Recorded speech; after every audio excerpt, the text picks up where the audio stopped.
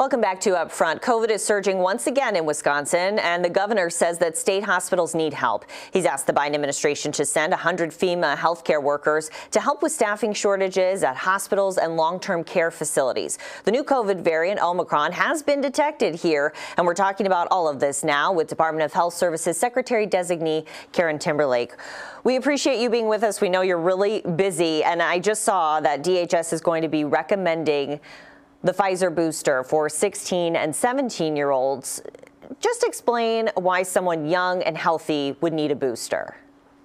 So, what we've been finding, and what our partners at the FDA and the CDC really have been finding as they've watched uh, how these vaccines have performed over time, over the course of this pandemic, is that vaccines remain the best way to protect all of us against infection with COVID 19 and particularly serious illness and hospitalization and death.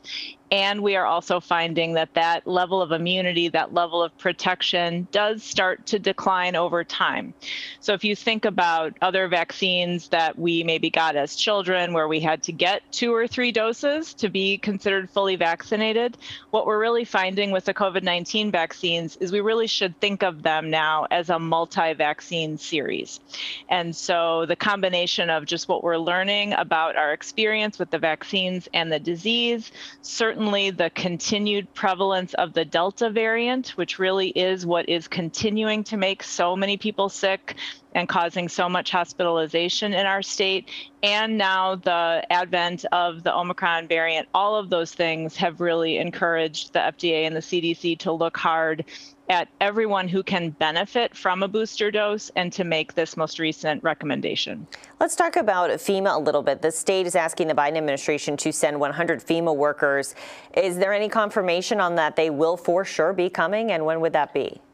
We are in very active discussion with FEMA about the resources that are available, what our needs are as a state.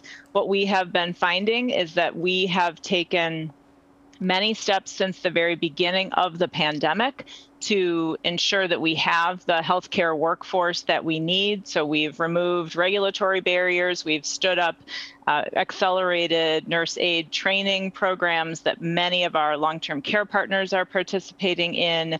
We have used National Guard staff to support parts of the response. We have deployed staffing agency uh, professionals, so nurses and other kinds of healthcare providers through contracted agencies.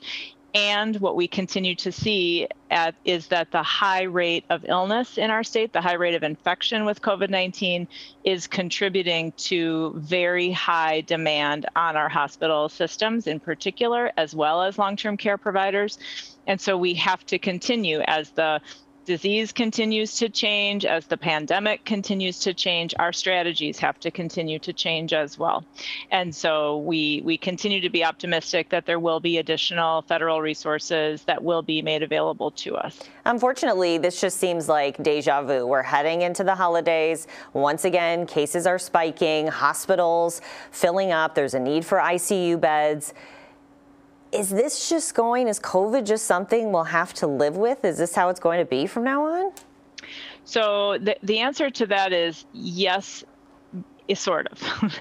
so yes, COVID is likely to be an illness that we're all going to need to continue to live with, but no, we are not going to need to continue to live with it at the at these levels and we can't.